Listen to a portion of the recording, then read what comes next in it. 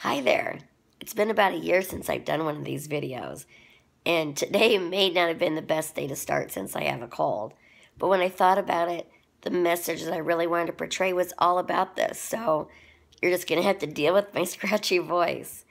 Whatever you're going through in life right now, whether you're struggling and in sorrow or if you're celebrating and enjoying, life, the universe is here for you. It's not against you if you're dealing with something that's really sad and maybe your heart is really hurting, feel that. Be okay with that. There's nothing wrong with feeling sad or upset or disappointed or frustrated.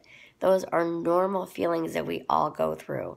Embrace them, work through it, be gentle with yourself to move forward with a better feeling thought.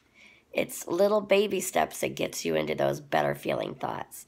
And if you're celebrating, celebrate and enjoy life and shine and just celebrate you because that's what it's all about. It's why I do these videos. It's to remind you that you matter.